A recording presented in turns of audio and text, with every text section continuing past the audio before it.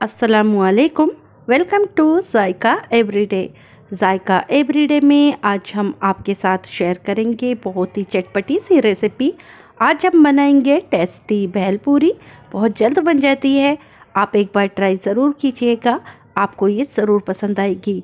जब कभी आपको भूख लगी हो और आप चाहते हो जल्दी से क्यूकली कुछ खाना तो आप इस तरह से बनाइए.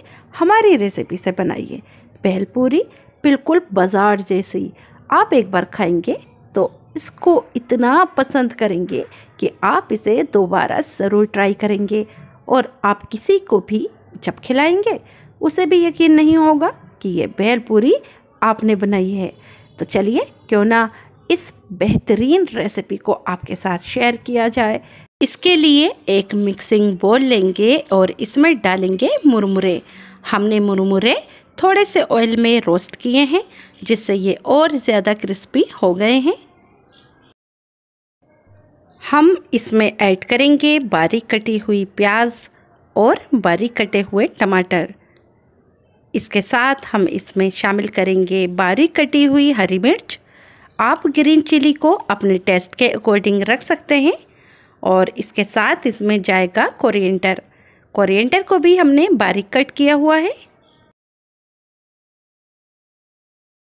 हम इसमें कई तरह की नमकीन भी शामिल करेंगे, जैसे बेसन की नमकीन।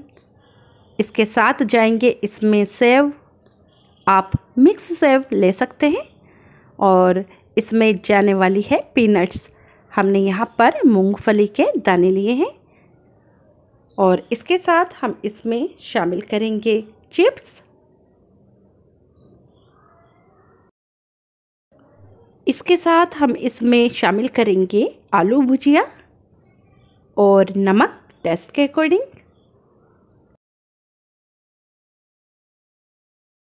हम इसमें रेड चिली पाउडर भी शामिल करेंगे और इसके साथ हम इसमें शामिल करेंगे चाट मसाला, इसे चटपटा बनाने के लिए।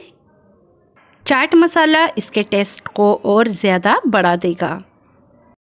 भेलपूरी को और ज़्यादा मज़ेदार बनाने के लिए हम इसमें शामिल करेंगे हरी चटनी, जो बनी है हरी मिर्च और हरे धनिए के साथ। और साथ में हम इसमें शामिल करेंगे टमाटो केचप।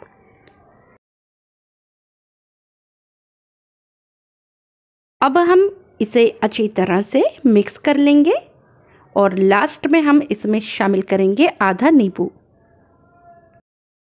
हमने अच्छी तरह से मिक्स कर लिया है। चलिए इसमें नींबू ऐड करते हैं और एक बार फिर से इसे मिक्स करते हैं।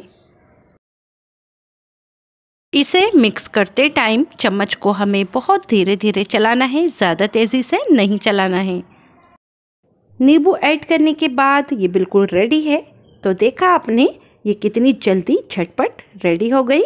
तो जब लगी हो भूख तो क्यों करें देरी?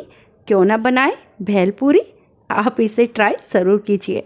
आपको ये ज़रूर पसंद आएगी। अगर आपको वीडियो पसंद आई है तो लाइक और शेयर करें और हमारे चैनल जायका एवरीडे को सब्सक्राइब करना नहीं भूलें। दुआओं में याद रखें। अल्लाह हाफिज़।